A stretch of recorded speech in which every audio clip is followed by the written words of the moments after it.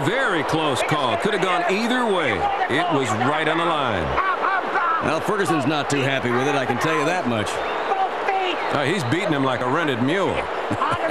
and the ref's just tuning him out.